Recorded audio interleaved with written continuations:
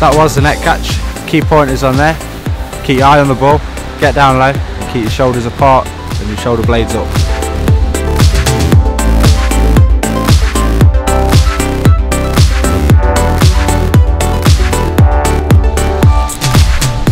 That was just the you up is.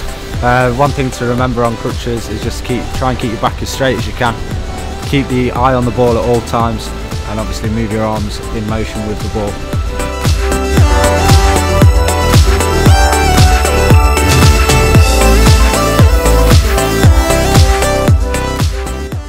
It's just a turn that you can be used in a game uh, to get away from your marker.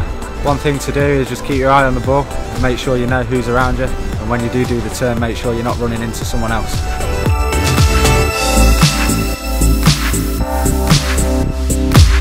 So it's just a demonstration about control. First thing to do with your control is getting your body in the right position to receive the ball and then it's up to you to decide which part of your body you're going to control the ball with.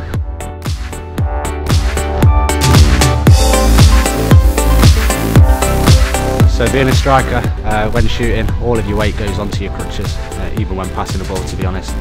Can't really give you a demonstration on what the best shooting technique could be for yourself because every player is individual and it depends on your shoulder widths and everything and how you actually move on the crutches.